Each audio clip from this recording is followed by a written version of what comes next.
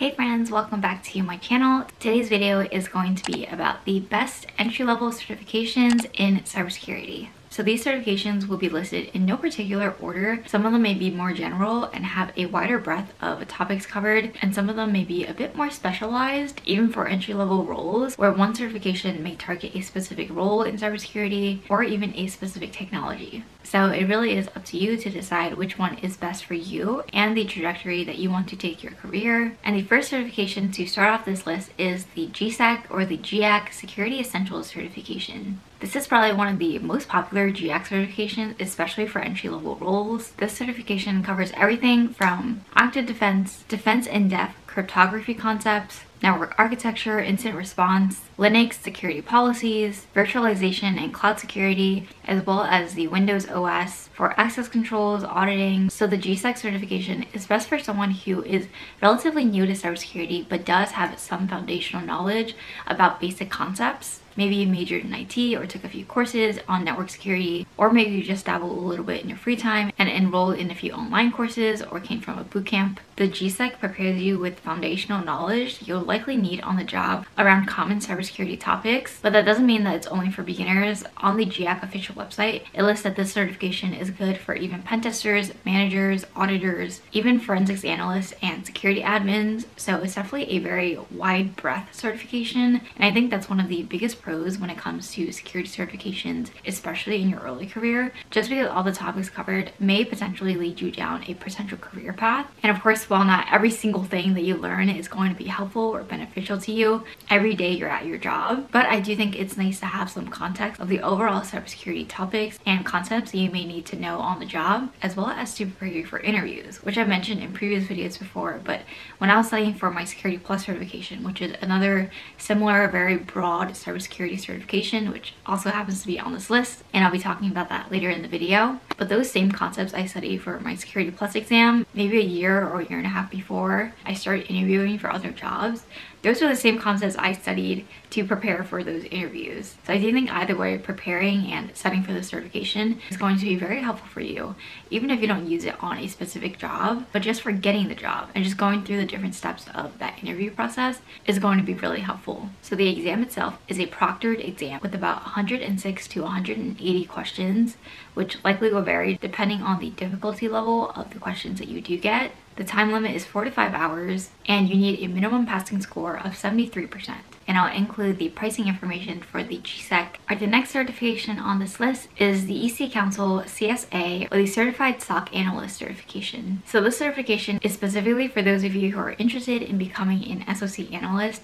I know many of you guys are interested in this entry-level role in cybersecurity and it's one of the most popular roles. The SOC analyst title can also be used interchangeably with the security analyst title depending on the company that you go into. However, unlike the GSEC certification that we just talked about, the CSA certification does require one year of experience in the network admin slash security domain or you can waive this required year of experience by attending an official EC Council training, which based on their website costs about $250, which isn't too bad of a price for a training. But of course, if you go through the experience route, then even as a student in a bachelor's or associate's program or in a bootcamp, you can likely find some kind of network admin job or some kind of IT analyst or help desk role that may allow you to get that experience while you're going through school or through a work study through college. But again, if you don't have that experience already, then you can go through the course route and that'll work just as well. And the cost to purchase the exam voucher to take the exam is $450. And because I've made many videos on this channel around SOC analysts and what they do, I'll link one below if you guys want to learn more, but that will kind of give you an idea of what to expect or the types of concepts to expect on the exam itself. The target audience for this exam, or essentially the candidates who want to take the exam, are SOC analysts, entry-level security professionals, network security admins, security engineers. There are 100 questions on the exam to be completed in about three hours and you need a score of 70% to pass and the exam is multiple choice. And in terms of the high level topics to expect on the exam, the NICE 2.0 framework, the SOC workflow, working with SIEMs, incident detection and threat intelligence, SIEM deployment, and then hands-on learning, working through a real-time lab environment simulation. So basically everything related to SOCs that you probably need to know on the job anyway, which makes this one of the best certifications to get if you're interested in becoming an SOC analyst. All right, the next certification on this list is probably one of my favorite and that is the Security Plus. But of course I am biased because I took this certification when I had about a year of experience and I also have a video on how I passed that certification which I can link in the description below. But the Security Plus certification is one of those very foundational early career certifications for cybersecurity professionals that teaches you a very broad breadth of knowledge just like the GSEC certification. But I do think that the Security Plus definitely has a bit more popularity just because a lot of employers may look for this certification especially when you're an entry level person and it really can make you stand out a bit more compared to your other entry level candidates or peers that may be applying to the same job. So on CompTIA's official website, they state that Security Plus is a global certification that validates the baseline skills necessary to perform core security functions and pursue an IT security career. One reason why employers may want their candidates to have the Security Plus is because of the fulfillment of the DoD 8570 compliance and it is also compliant with the ISO 17024 standards. The topics covered in the Security Plus are attacks, threats, vulnerabilities, architecture and design, implementation, operations, and incident response, governance, risk, and compliance. And in terms of the roles that hire for a cybersecurity professional with the Security Plus are security admins, security engineers, security analysts, IT auditors, DevOps and software developers, network slash cloud engineers. Basically many of the roles I see you guys mentioned you are interested in in the comments. The exam itself has a maximum of 90 questions. It is multiple choice and performance based, which means there are questions where they may show you some kind of diagram. You may need to fill in some blanks or drag and drop things. An exam is about 90 minutes long and on a scale of out of 900, you'll need to get 750 to pass. They have some recommended experience on the CompTIA official website for the Security Plus, but you don't actually need any years of experience to take the exam. It's more so like a suggestion, but their recommended experience is the Network Plus and having at least two years of experience, which again you don't need but they're mentioning that it's a nice to have so overall i do think the security plus is one of the most straightforward certifications that you can get in your early career as a security professional. And it also just opens a lot of doors for you in terms of the types of jobs that you can apply to and the types of roles that companies will consider you for. And because this is an entry-level certification video, I do have to mention the next runner-ups right after the CompTIA Security Plus, and we're just going to talk about them together, and they are the CompTIA Network Plus and A Plus. And these two are probably the other most popular entry-level certifications that CompTIA has to offer. Typically, it's recommended that these are taken before the Security Plus, just because the Security Plus is kind of a step above these two certifications. But again, these two are a bit more niche or more catered towards someone who is just getting started in cybersecurity with less of a cybersecurity background as someone who may be taking the Security Plus. But again, depending on the roles that you're applying to, if you want to become a network admin, then maybe just taking a certification like the Network Plus is enough rather than going for the Security Plus that is super broad and covers a lot more than networking especially when you already know what you want to do for your career and the area that you want to stay in. So there's always going to be pros and cons of which certification to choose. But again, it depends on where you want to go in your career. So starting out with the Network Plus, the actual concepts covered in the exam are network fundamentals, implementations, network operations, network security, as well as network troubleshooting. So pretty typical concepts for roles like network admins, network engineers, support technicians, sysadmins, and different roles like that that are more so related to the networking side. The exam itself also has a maximum of 90 questions like the Security Plus. The total length is also 90 minutes and you have to get get a 720 out of a 900 point scale to pass the exam.